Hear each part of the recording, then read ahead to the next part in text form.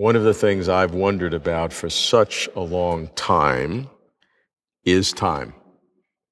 What is time?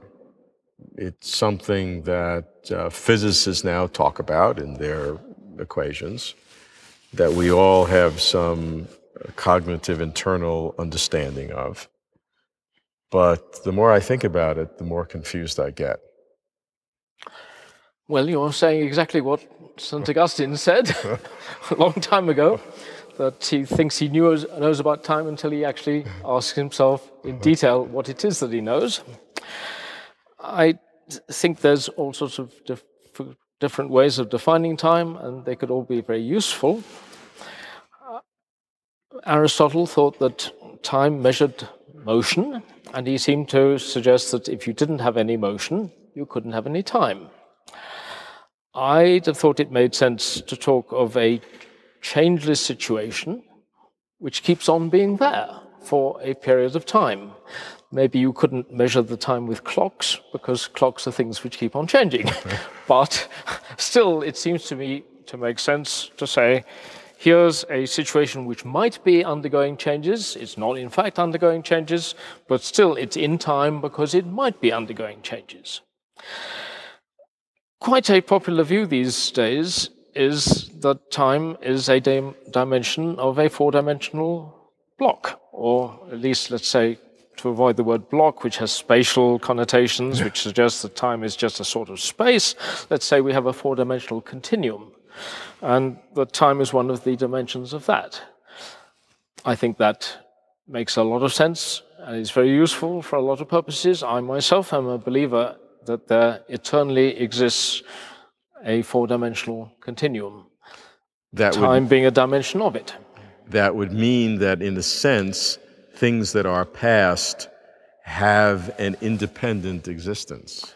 They're back there along the fourth dimension, and things in the future are forward there along the fourth dimension on this view, which is accepted by large numbers of physicists. But it, it, it is, in a sense, not uh, not a view that the what is back in the fourth dimension or ahead in the fourth dimension is not in the realm of uncertainty or hypothetical or remembrance, but has has a current reality.